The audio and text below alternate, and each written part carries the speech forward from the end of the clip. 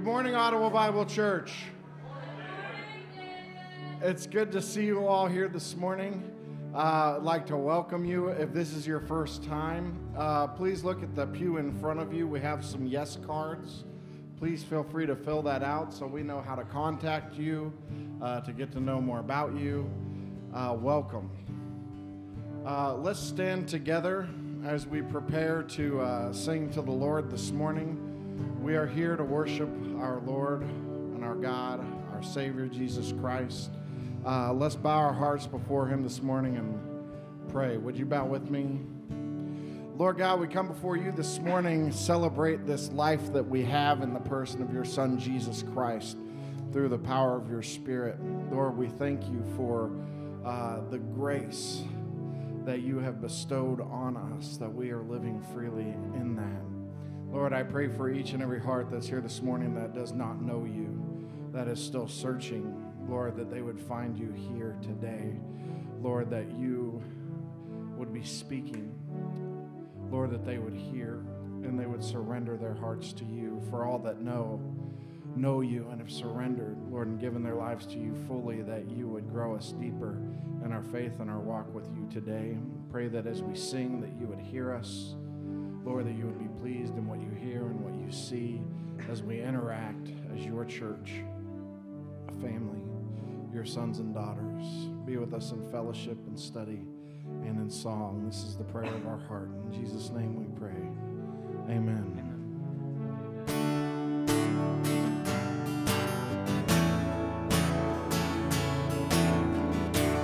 I'm forgiven because you were forsaken.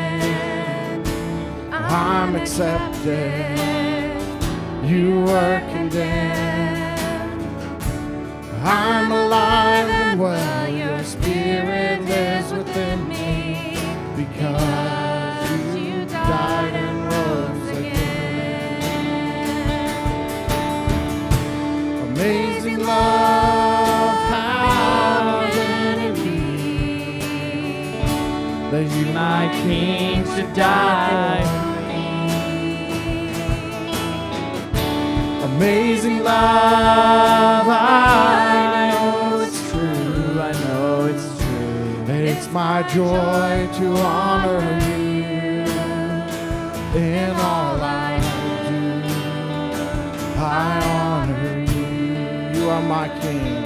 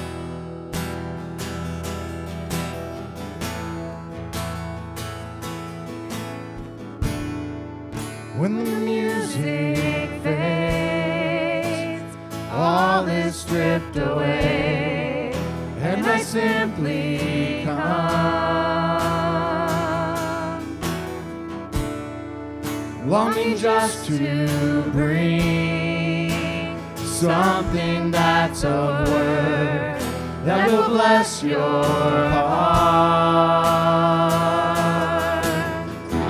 I'll bring you more than a song, for a song in itself is not what you have required.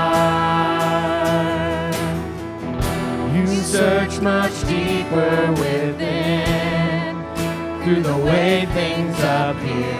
You're looking into my heart. I'm coming back to the heart of worship, and it's all about you, all about you. I'm sorry, Lord, for the thing I've made it when it's all about you, all about you, Jesus.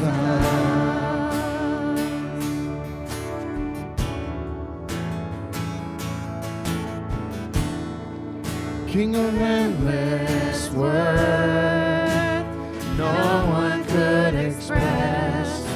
much you deserve. Though I'm weak and poor, all I have is yours, every single breath. I'll bring you more than a song, for a song in itself is not what you have required. You search much deeper within through the way things appear. You're looking into my heart.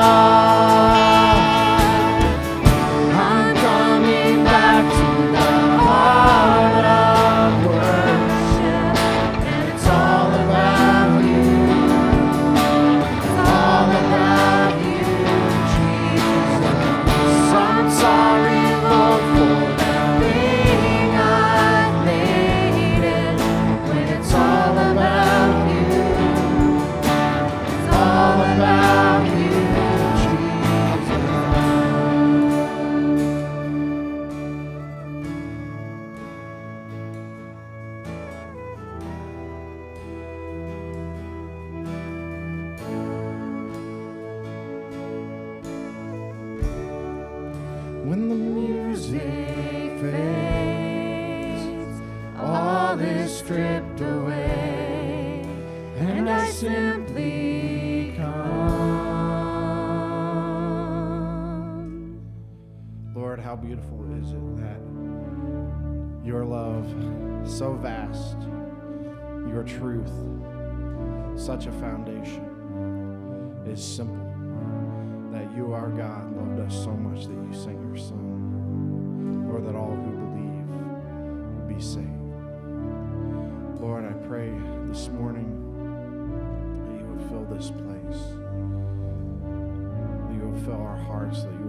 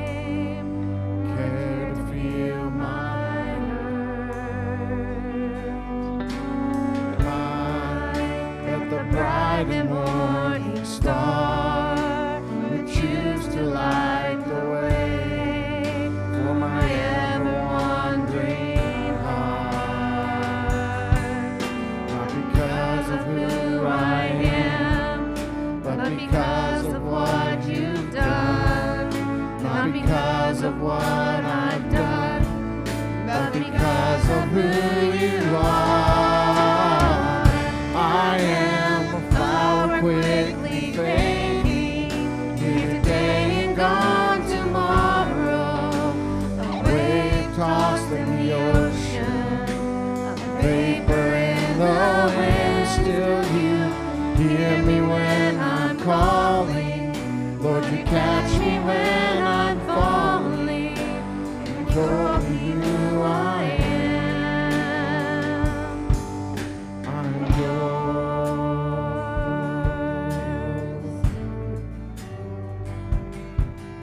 Who am I that the eyes that see my sin would look on me with love and watch me rise again? Who am I that the voice that calmed the sea would call out through the rain calm the storm in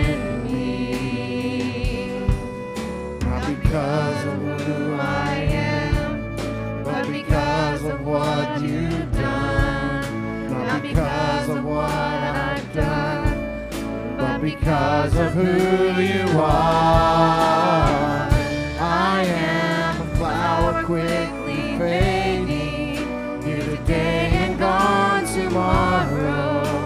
A wave tossed in the ocean, a vapor in the wind. Still you hear me when I'm calling. Lord, you catch me when I'm falling. And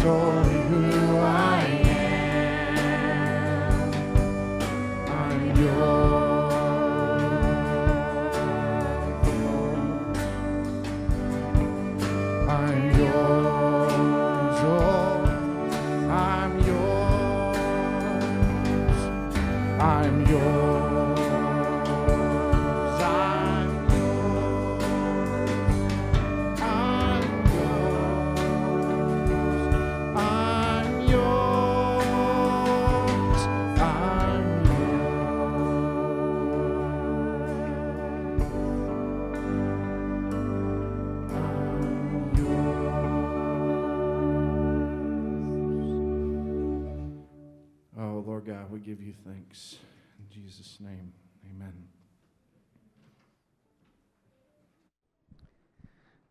Good morning, everybody. Welcome, welcome. Now that it is uh, January 8th, it's kind of after the holidays and back to normal life, right? A little bit. But with the new year, uh, always comes New Year's resolutions. I'm not a resolution kind of guy, but I do believe in reflecting uh, on the past year and looking forward in ways that I can improve and get better, especially in my walk with the Lord.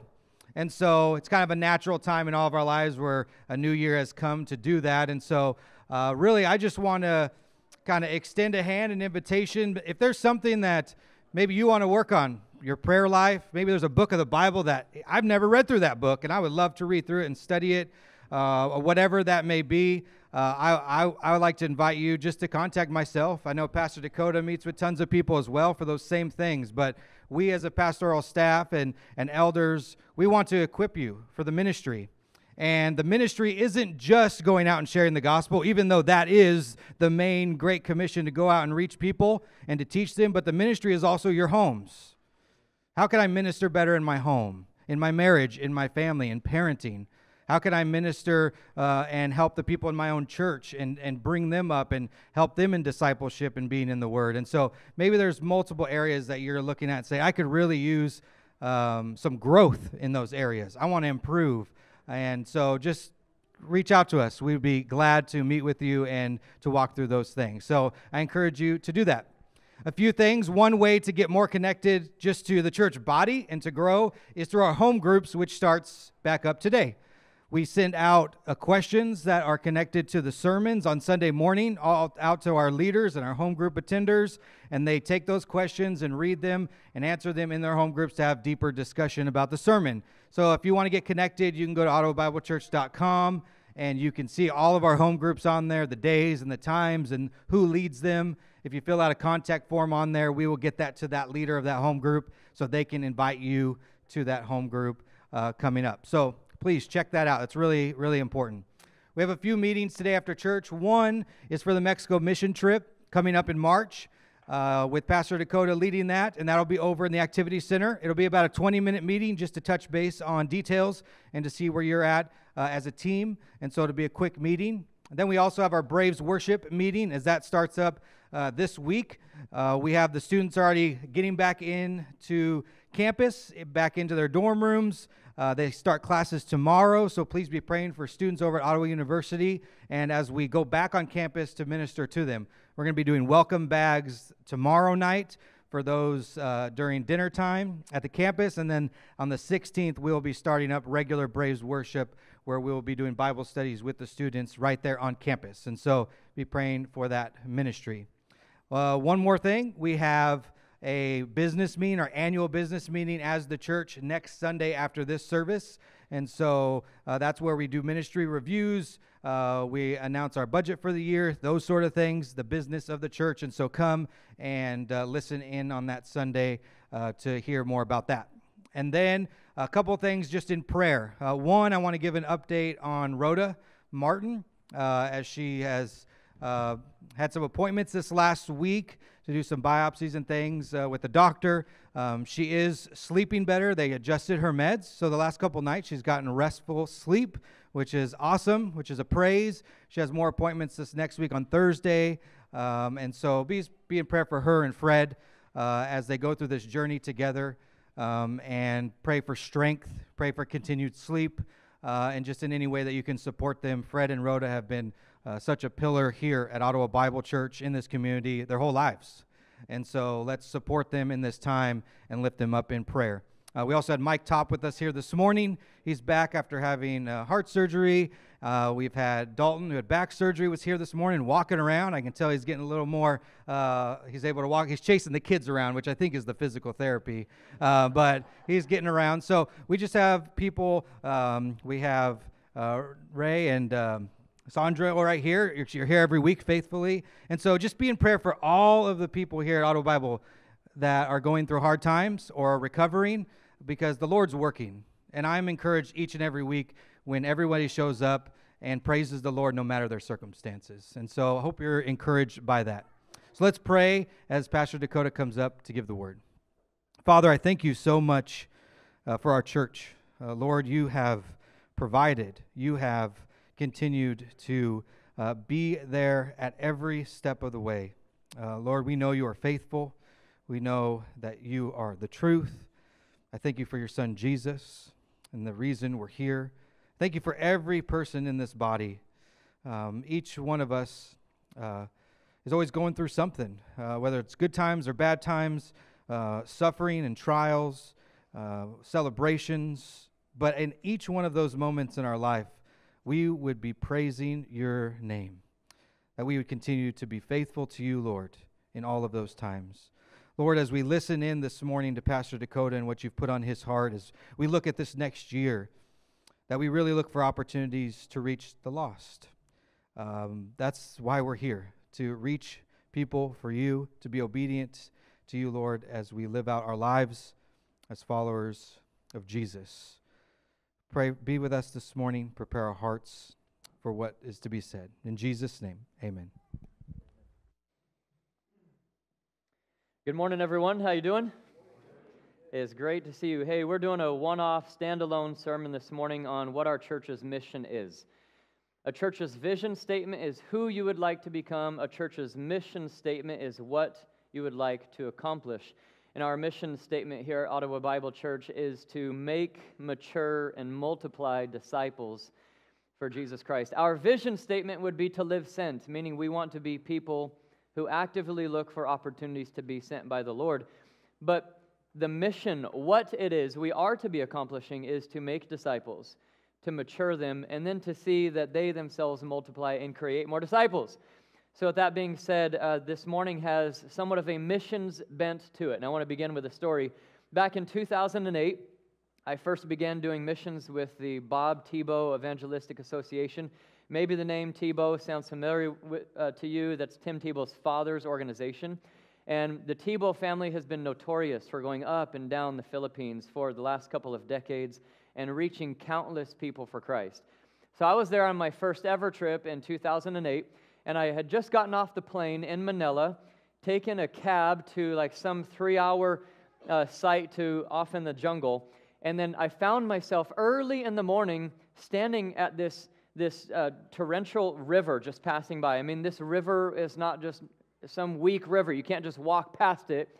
In order to get to the other side and in order to get to where you want to go to be preaching, you have to go on these old ropes that look like they're 50 or 60 years old. I mean, they look like they're dwindling and they can snap at any moment. See, Bob Tebow sent me on a trip all the way up in the hills of the jungle in the Philippines to go and preach at a couple of schools. So I get there and I'm like half awake after a 14 hour flight, and I'm just totally, everything about me is off. I'm off my sleep schedule. I don't feel right. And you know what his words were? He was like, Listen, you don't have time to sleep right now because you can sleep when you get home. So he says, You go now. and I get there and I'm at the river. And I'm like, All right, so I'm going to walk across these ropes. I might die. Then I get to the other side and I've got to hike up this mountain. So, um, being foolish as I am, I walked all the way across the bridge. And the bridge, it's like every step I'm just like barely stepping another step because maybe I'll fall in the river, maybe I'll die. It's okay. The, at the point in time, I was a single man, so not that many people would miss me. I get to the other side of the river, and suddenly there's this guy there who says, and he barely knows any English. He only knows Tagalog. And he says, Would you like dirt bike? Would you like dirt bike? And I'm like, Yes, I'll take a dirt bike. Why not? So he was selling uh, dirt bike rides and stuff like that. It was just a small fee. And the thing is, is he would drive it, and then I would get on the very back. And technically, there wasn't enough room for me on the back. But uh, nevertheless, that's how they do things in third world countries. So I get on the back and we start riding up this mountain. Again, it's the first time I've ever been in the jungle of the Philippines. And I've still got crusties in my eye, and I'm just sick from the flight, all sorts of stuff. And I'm placing my arms on top of his shoulders. And then, of course, he's the one steering the bike. Well, we're driving, and I'm looking at the sunrise, and I'm looking at all of the different fields and just the beauty of the jungle and I started to notice some movement on my shoulder. And I look over at my shoulder and I just kind of froze. I didn't know what to do. I saw a massive banana spider, yellow, purple, spots, hair, fangs the size of a dagger, whatever you want to say. I swear to this day, every time I tell the story, that banana spider gets bigger and bigger. Uh, a couple of years ago, I shared the story, and it was the size of a cheeseburger. This year, I'm sharing the story, and it was the, the size of a sombrero. But the banana spider was sitting there right on my shoulder. Apparently, we had gone through some brush, and it fell onto my shoulder, and I'm just freaking out. I didn't know it was a banana spider, but I knew it did not look safe. So I'm just sitting there frozen, and suddenly it starts to crawl down my arm. And then it crawls over my hand, and then it goes over the shoulder of the guy on, on the dirt bike who's, who's steering the bike and then it crawls over and right into this portion of his sleeve it opens up. It goes into his sleeve, and I'm just, I've never seen a spider like that in my life. I'm shocked. He doesn't know English. I don't know Tagalog. So I start slapping the guy's shoulder. boom, boom, boom. And he's looking at me like, you crazy American. And in the best I could with sign language, I said, Spider in your shirt. So he stops the dirt bike, puts down the kickstand, we both get off, and I'm like over here like this. And this guy, like a man, just reaches in like this, and he grabs it, and I swear he looked at it, and he threw it on the ground, and then he stomped it. I'm like, what? That's, am I riding with Rambo, or what is the deal? Did Bob send me out in the middle of nowhere in the jungle? What am I doing here, right? Listen, uh, the point of the story is that through trial and tribulation, through banana spiders and all, God is a missional God who calls us to go. That is the idea. God calls us to go. And the big idea for today's sermon is of the following an outward facing church. An outward facing church trusts in the empowerment of the Spirit to complete Jesus' mission. And this fits nicely with what we studied last Sunday. The indwelling of the Holy Spirit and the filling of the Holy Spirit is where we came from last week. So if you weren't here last week, go back on our archives on YouTube or on our website and you can listen to that sermon. But I think this is a good transition from that standalone sermon to this one. As we start to speak about our church's mission to make, mature, and multiply, we have to remember that an outward facing church trusts in the empowerment of the Spirit to complete his mission. if you would, I want to take one more moment in prayer as we dive into Acts chapter 1 this morning. Uh, you, would you just raise the hand if you feel led? You could take a knee, whatever you feel, but just take a moment of reverence with me as we dive into God's Word.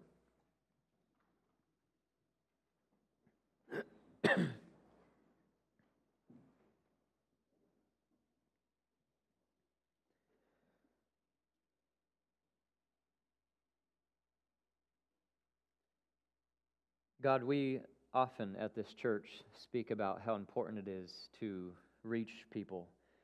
And we often push to live sent and to make disciples. But this morning I pray that we would also remember that it is through your good enablement, it is through the power of your Holy Spirit that that is to be accomplished. And God, as we continue to begin this new year of 2023, I, I pray that we would be sensitive and would remember the power of the Holy Spirit to accomplish what you have asked us to do. God, I pray for every heart in this room right now. First, uh, for all of our visitors this morning. Maybe they're coming and maybe they're trying out OBC for the first time, or maybe um, there's people this morning listening online and they're checking us out or they're listening faithfully. God, I just ask you to be with them. Uh, and I pray that they would be encouraged to come and experience the real thing in person where God's people gather and worship. Lord, I pray for our own church family who has been faithful to serve you here at OBC for all these years. God, I pray that we would hear this message this morning with humility in our hearts and that we would remember what you have called us to do. Our ultimate purpose does not have discipleship as an add on, but our ultimate purpose is to pursue making disciples. So thank you so much for the great love you have for your people. Lord, I pray for just my own tongue this morning that you would help me to be clear. Uh, Lord, through a, a bit of grogginess, that you would just help me right now through the power of the Holy Spirit to even preach to your people. I thank you for making me dependent. Let us have ears that hear. In Jesus' name, amen.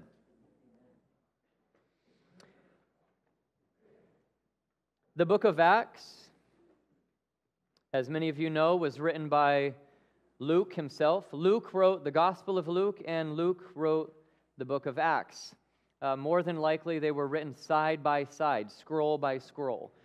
Scrolls in antiquity were about 35 feet in length. Individuals did not waste 35 length, uh, feet worth of scroll um, because they wanted to tell a lie individuals spent a lot of money on papyri in order to record real life, eyewitness based events. This morning, we're going to walk through Acts chapter 1, verses 6 through 8, but I'm going to deal with a little bit of pretext to, to give you help on context to start with. So, if you will, look at Acts chapter 1, verse 1. Luke says this The first account I composed, Theophilus, about all that Jesus began to do and teach until the day when he was taken up to heaven, after he had, by the Holy Spirit, given orders to the apostles whom he had chosen. To these he also presented himself alive after his suffering by many convincing proofs, appearing to them over a period of 40 days and speaking of the things concerning the kingdom of God. Gathering them together, he commanded them not to leave Jerusalem, but to wait for what the Father had promised, which, he said, you heard of from me. For John baptized with water, but you will be baptized with the Holy Spirit not many days from now.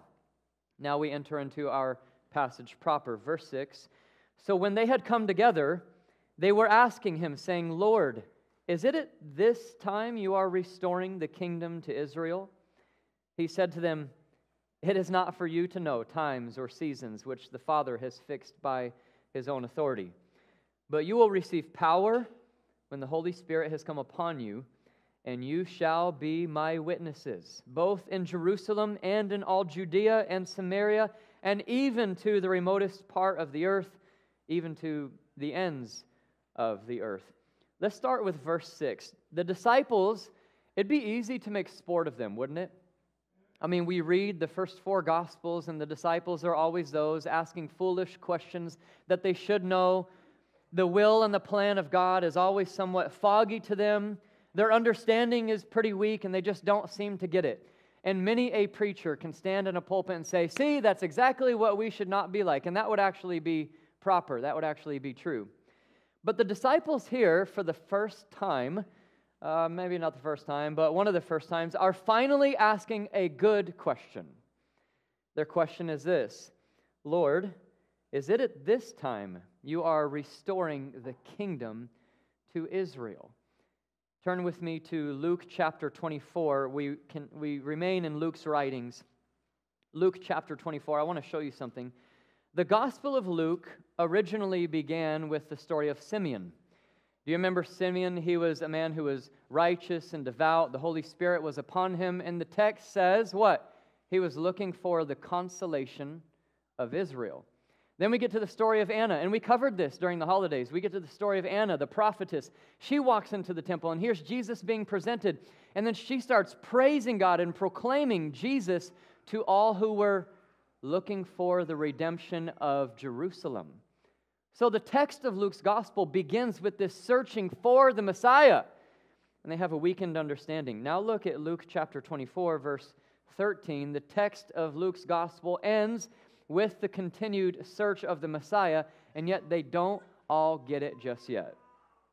Verse 13 And behold, two of them were going that very day to a village named Emmaus, which is about seven miles from Jerusalem. And they were talking with each other about all these things which had taken place. While they were talking and discussing Jesus himself, now in resurrected form, Jesus himself approached and began traveling with them. But their eyes were prevented from recognizing him. There's something spiritual taking place. Verse 17, and he said to them, What are these words that you are exchanging with one another as you are walking? As if Jesus doesn't know, right?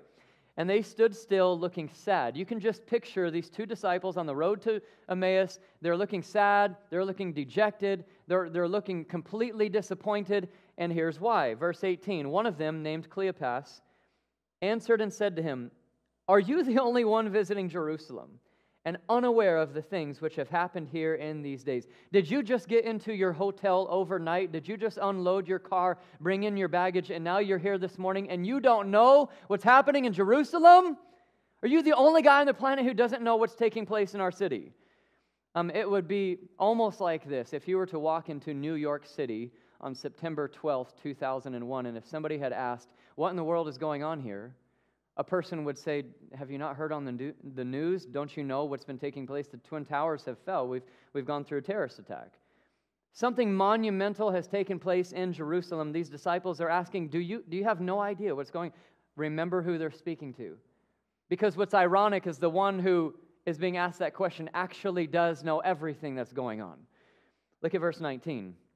And Jesus said to them, What things? He's being coy or something. What things? And they said to him, The things about Jesus the Nazarene, who was a prophet, mighty indeed in and word, in the sight of God and all the people, and how the chief priests and our rulers delivered him to the sentence of death and crucified him. But we were hoping, listen to this statement, verse 21. But we were hoping, this was our hope, this is what we desired, this is what we wanted that it was he who is going to redeem Israel.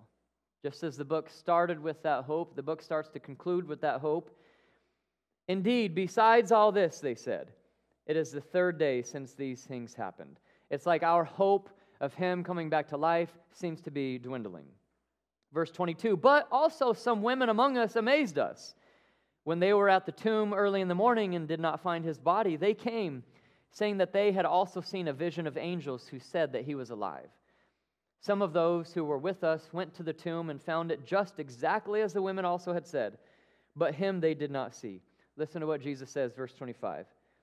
And he said to them, O foolish men, and slow of heart to believe in all that the prophets have spoken.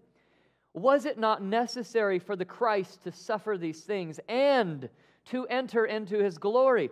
Don't, don't the prophecies say that the Messiah himself would also suffer for the sins of his people? Verse 27 Then, beginning with Moses and with all the prophets, he explained to them the things concerning himself and all the scriptures. If we were to conclude the book of Luke, the rest of the 24th chapter, we would find that Jesus makes himself known in resurrected form to the disciples, and then he speaks to them even more so about how he will eventually ascend to heaven. So, coming full circle, come back with me to Acts chapter 1, look at verse 6. Why is this not a silly question for the disciples to be asking? They ask the question, Lord, is it at this time you are restoring the kingdom to Israel? It's not a foolish question because now they know that Jesus has died on the cross for all sin. Now they know that their real enemy was not necessarily Rome, but their real enemy was the bondage of their sin. Now they know the resurrected Jesus. Now they've met with him face to face. They've spent 40 days with him, and now they're asking the question okay, so, Jesus, what's the plan here? You've died, you've resurrected. Are you bringing the kingdom now? In other words, is this where you take over Rome? Is, is this where you establish Israel and you finish and you fulfill all the promises and covenants that you made to them that you would be their victorious king on a throne here on earth?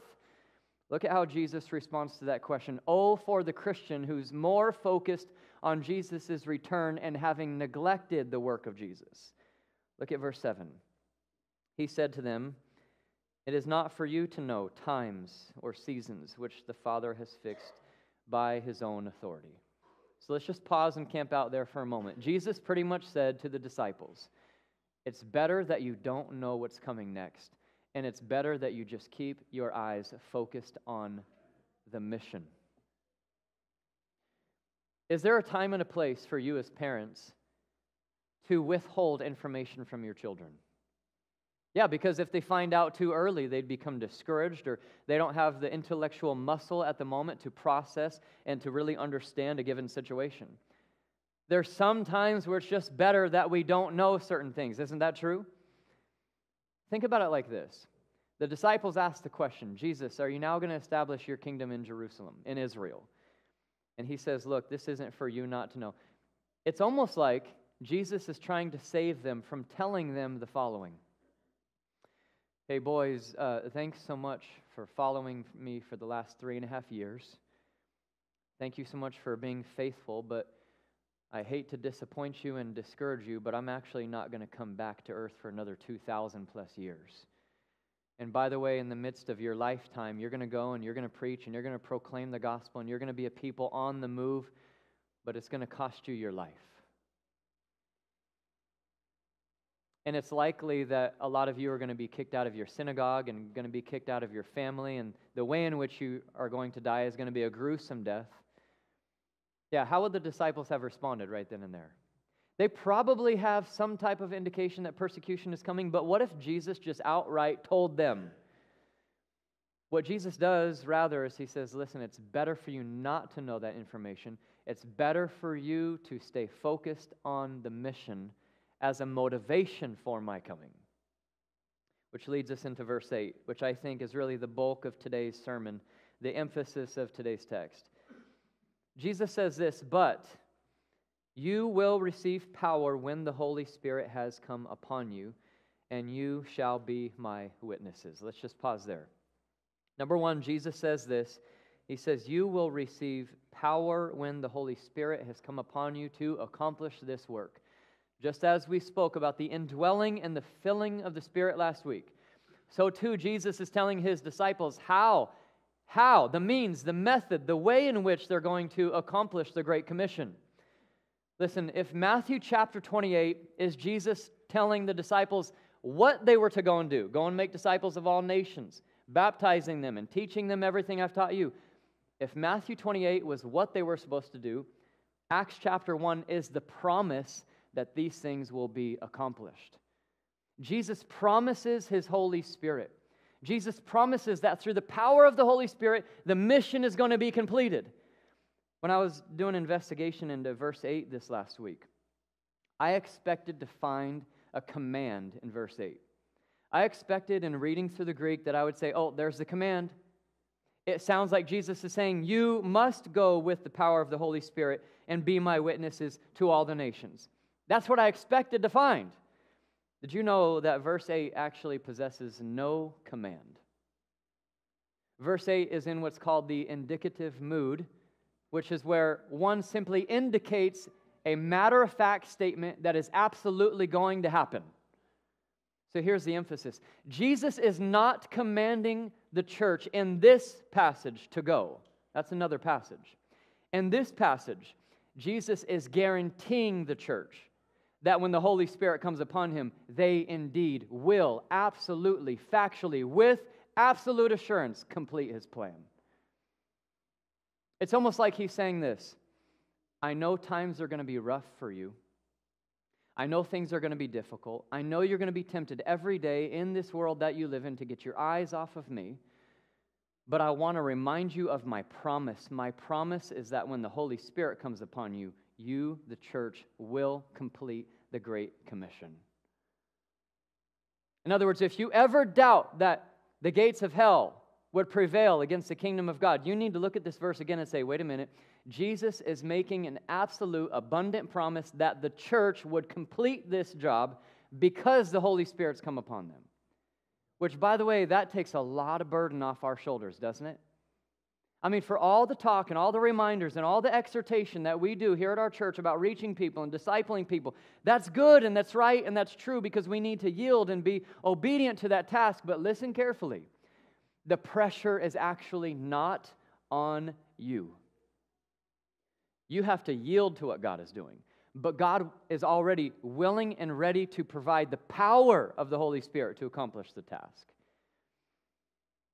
I think sometimes it's unfortunate when you and I get caught in slumps or in seasons and we think to ourselves, man, I've got to do ministry in my own strength, or man, these are the reasons and the excuses I have for not doing ministry, for not making disciples, for not making, maturing, and multiplying disciples. In fact, let's just review a few excuses that all of us at one point or another have made. All of us have these common excuses for why we don't reach people. Number one, well, that's not my gifting. When you declare that it's not your gifting to reach people, what you've declared is that it's a spiritual gift to accomplish the Great Commission. But, brother and sister, I want to remind you that it doesn't take a spiritual gift to accomplish the Great Commission. It takes the Holy Spirit to accomplish the Great Commission, of which you may receive a gift in the midst of that to assist in the Great Commission. Fulfilling the Great Commission is not a matter of whether you have a gift or not, it's a matter of whether you have the Holy Spirit or not. Number one.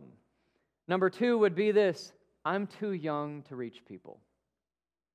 You know, I'm, I'm too young. I'm still in my parents' house. I'm just going to school. I'm just doing my thing. Or maybe you're in college and you're thinking, you know, I'm just building my career and I'm just getting ready for what's next. Well, can I just tell you that there is nothing in your life that will ever matter as much as the Great Commission? It doesn't matter how old or how young you are. It doesn't matter what you think could bind you in life. If you think that your youthfulness is something that could actually be counterintuitive, I'm here to tell you that actually, if you believe in the Lord Jesus from a young age, you can still accomplish the Great Commission because God promised you would do it through the Holy Spirit. Or how about this? Let's flip it on its head. Number three would be, well, I'm just too old. You know, I'm, I'm too young to go and, and do all that. I'm, I'm too young to go on a mission trip to Mexico. I'm too young to go and reach my neighbors. I'm, or I'm too old to go and reach my neighbors. I'm too old, you know, and my, I, I've got these bodily ailments. There's nothing that I can do. Can I remind you that Moses was 80 years old when he led the people out of Egypt? Listen, if you are thinking that you are too old, I want to just fight against that lie right now. I want to tell you this.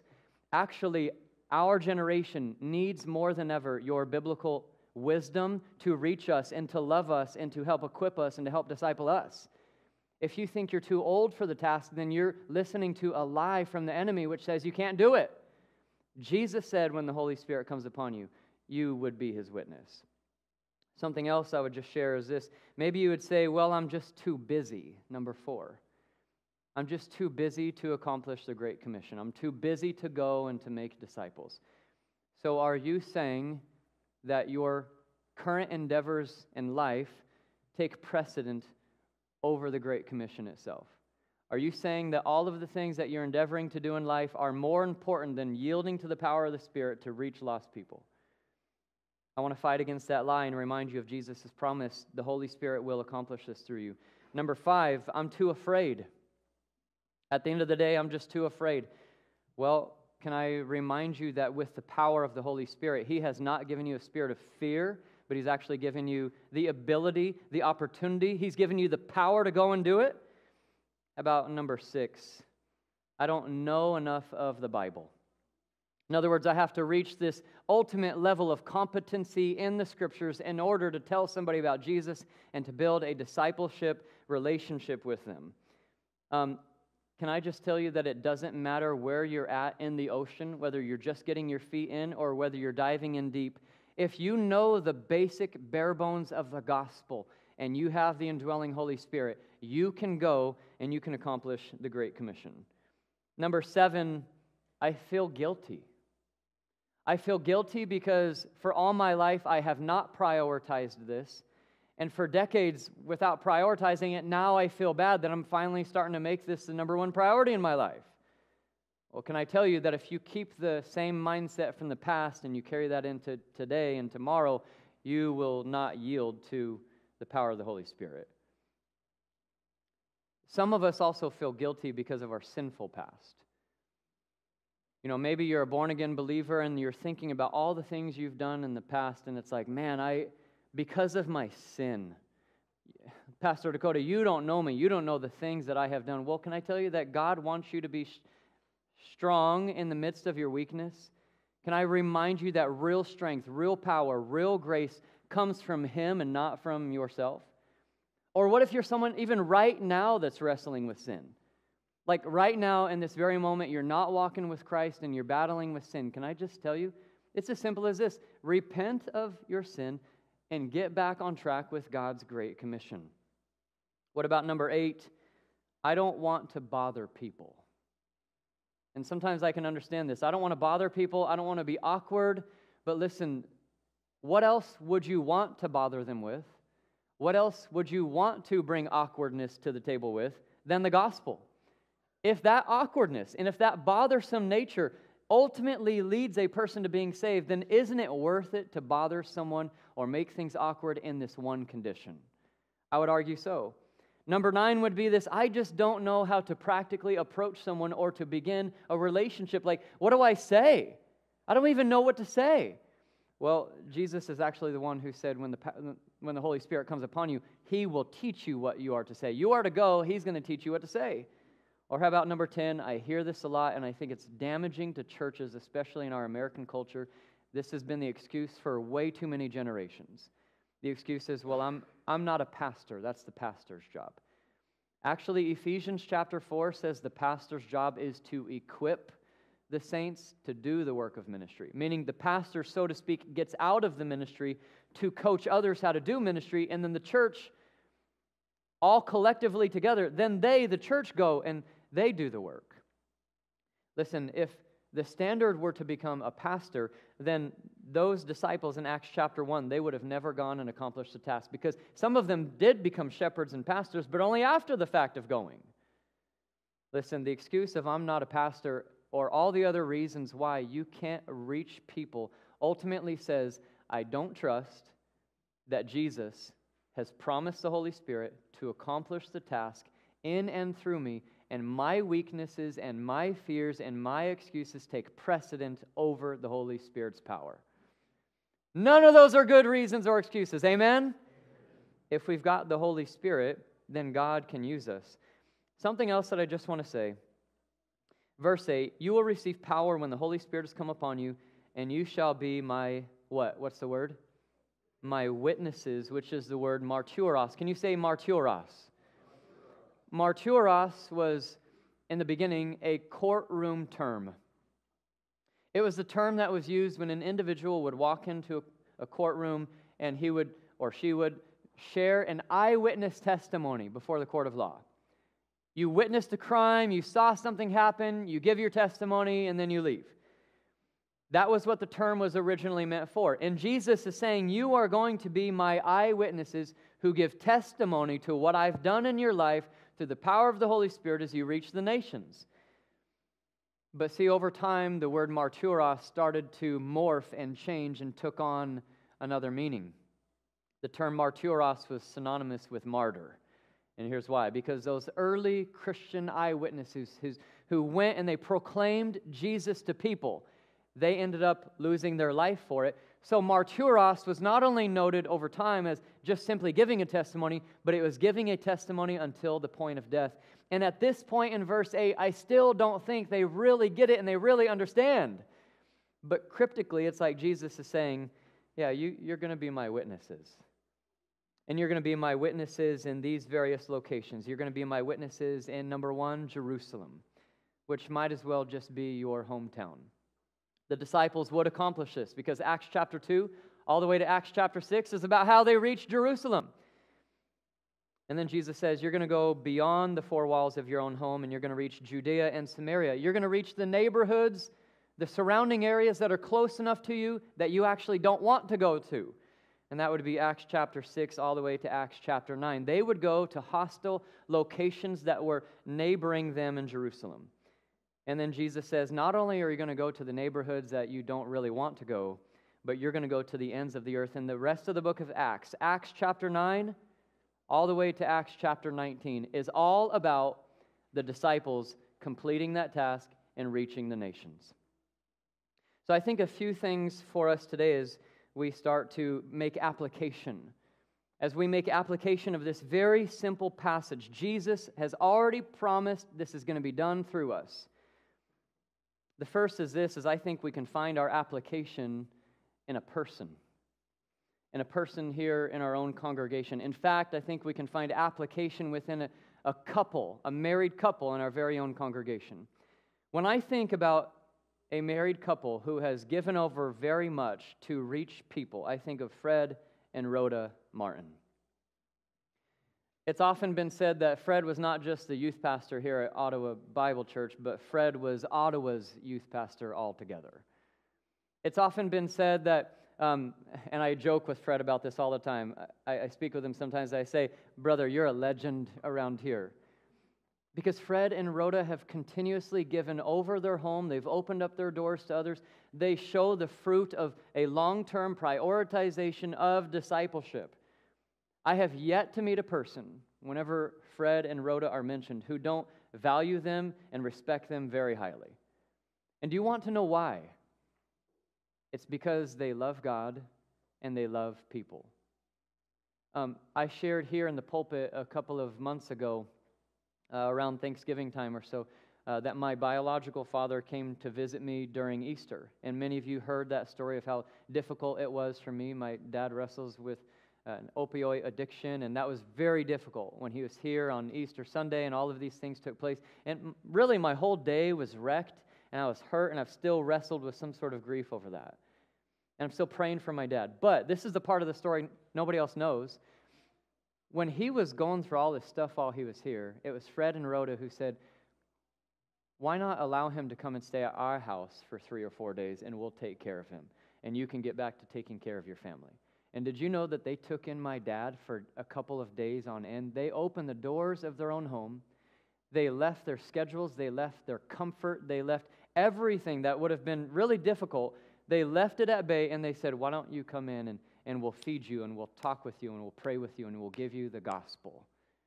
Can I tell you that if you're looking at someone who lives a lifestyle and a culture of reaching people and giving things over sacrificially for the gospel, just look at Fred and Rhoda.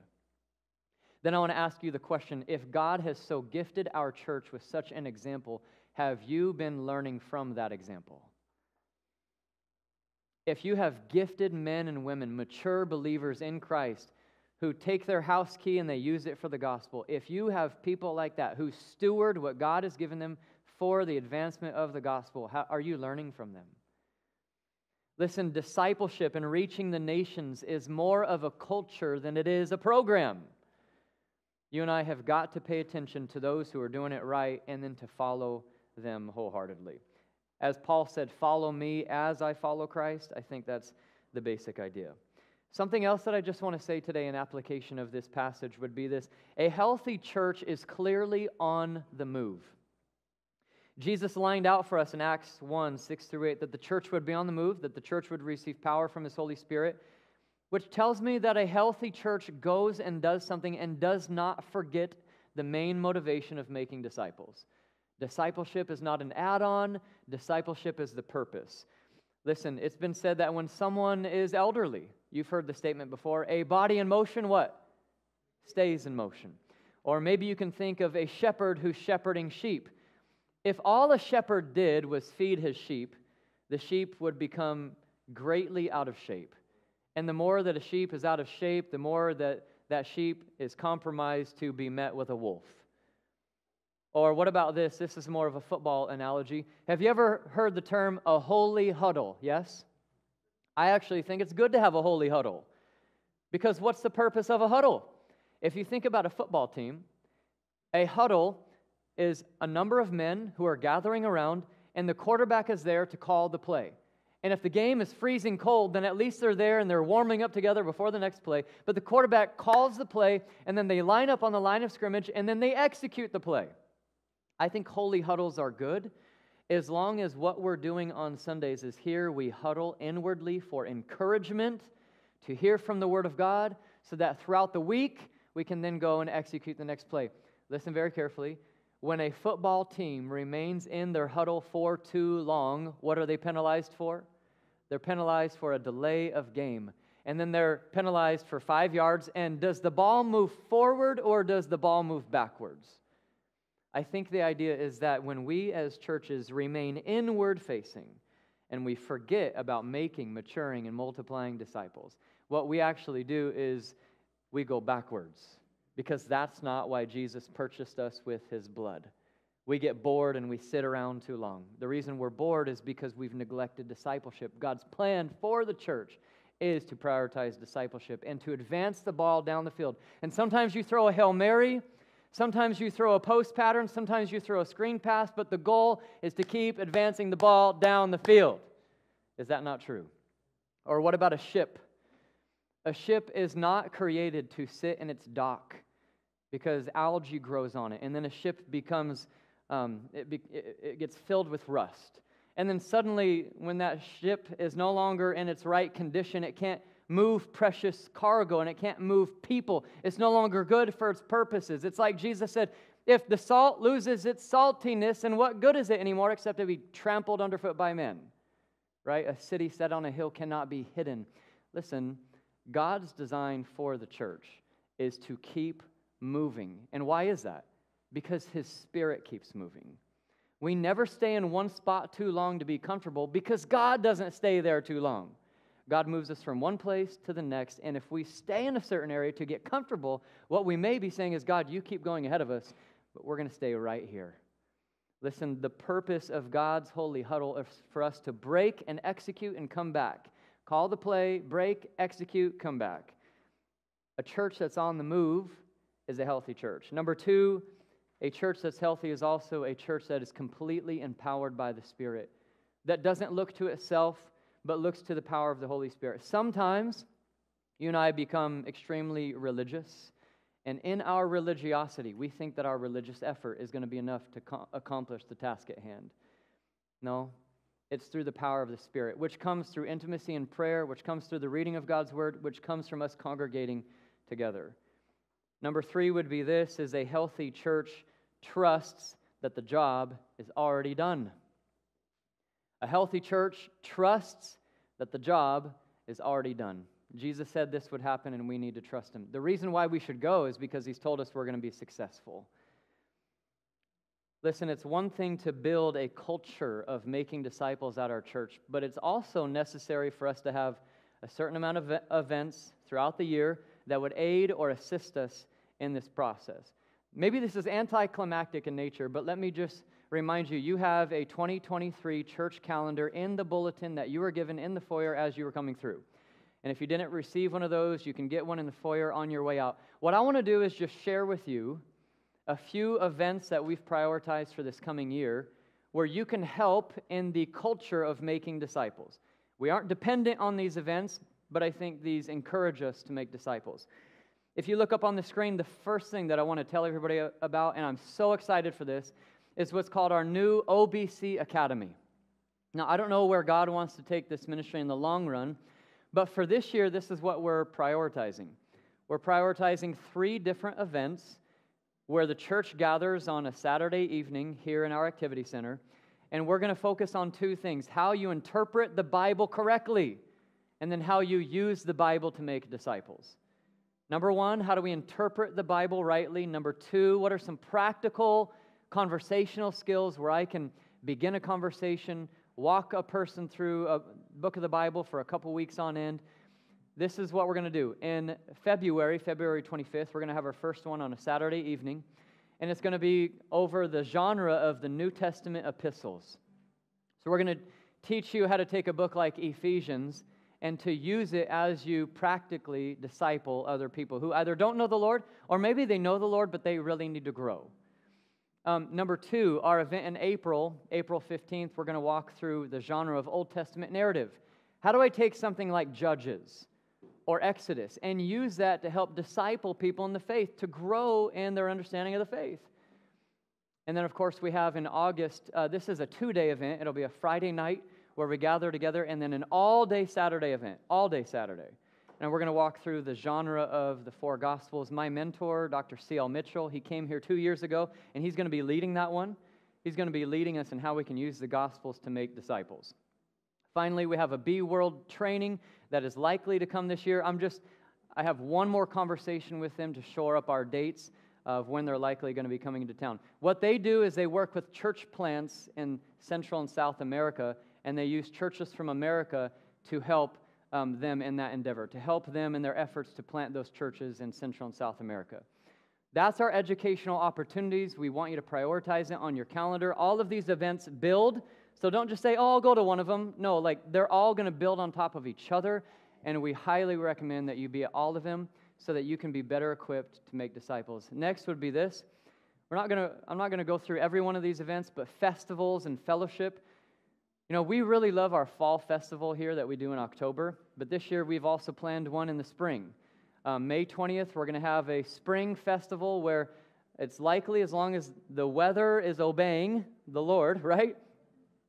uh, we're going to go and we're going to pick out a park and we're going to have a dodgeball tournament and a potluck. And if the weather doesn't permit, then we'll find a way around that. But there's a number of events on your calendar for festivals and fellowship. Please hear me. These events are not so that we can be inward facing only. Yes, a huddle should take place here to encourage one another. These events are also opportunities to bring others along or to meet the various amount of people you may or may not know here at OBC. We've been obviously growing, and if you don't know someone, then use these events as an opportunity to get to know them on a more practical level. Something else that I just want to share, not just festivals and fellowship, but next would be local outreach. You'll notice they're all color coded in your calendar, by the way. If it's red, it stands for local outreach. I'm not going to go through all of these, but one is this year we want to have a presence at the car show. We want to be at the car show on September 16th, and we want to have a car out there. If one of you owns a really nice car and you want to, you know, be there to, you know, help uh, promote OBC, then please do it. But we're going, we're to be on the streets and we're going to have conversations with people, friendly conversations, and we're going to bring the gospel to our community. We're going to be there. Also at the rodeo and all these events, we would like to be there. We need you to help us serve. Of course, there's Awana, which is an outreach that we do. It's in purple in your calendar. And then the last thing I want to share for today is our emphasis for international missions. I pray that 10 years down the road, we're not only going to Mexico, but we're going to multiple locations. That would be amazing. But for this year, we've got a house build coming up in March. Right now, we're scheduled to have about 15 of us from the church go on that trip to Mexico, which is really good numbers. We're going to camp out in tents in Mexico. We're going to build a house for a family who's literally sleeping in a cardboard box. We're working with an organization to do that. In September, we're going back to Mexico to train pastors in Mexico to help churches, which was really fruitful last year. And then, of course, we have Operation Christmas Child. Let me just say it once more. These events are there to encourage the culture. These events themselves are not what we're depending on to make disciples. With that being said, would you please stand as we close in prayer and we close out this morning with another song in worship? God, thank you so much. Banana spiders and all. Through the difficulties and the distractions and the temptations of this life to place our focus and our motivation and our purpose elsewhere. Despite all that, thank you so much that you have promised to empower your church to accomplish the task. Lord, help us as a church to be individuals who say, Lord, you said it, so I'll go do it. Lord, help us to be a church who doesn't have excuses, but who trusts in your Holy Spirit to do the job. Bless our fellowship, bless our efforts to make disciples. Give us a love that you have for people. And Lord, I pray that 2023 would be fruitful because we've followed you and no one else. In Jesus' name we pray. Amen.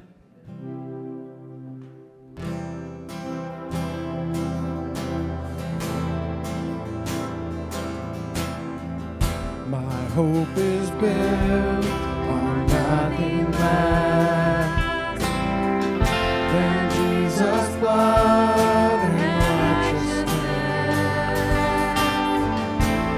dare not trust the sweetest frame, but wholly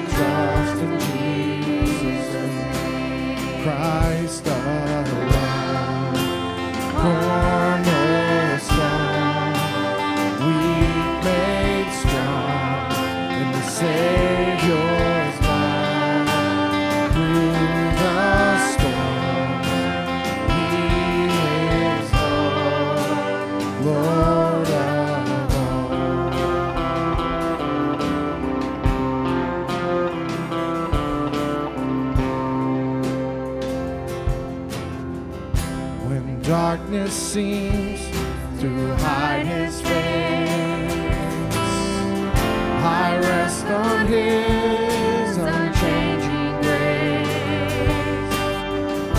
In every high and stormy gale, my anchor holds within the veil. My anchor holds within. Christ alone, cornerstone,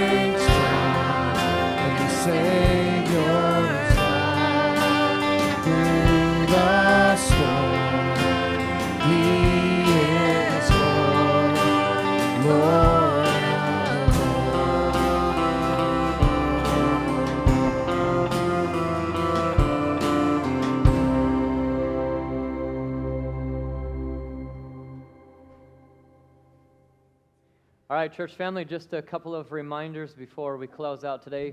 First, as always, I just want to remind you a healthy church stays in prayer for their church.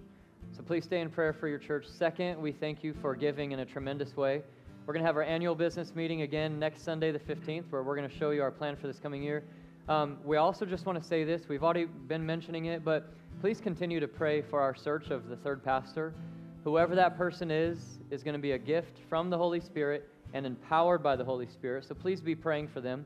And then, as always, if you serve here faithfully, we really are dependent on your service. So we thank you that you continue to serve. God bless you, and we will see you next Sunday. Thanks so much for today, church family. Take care.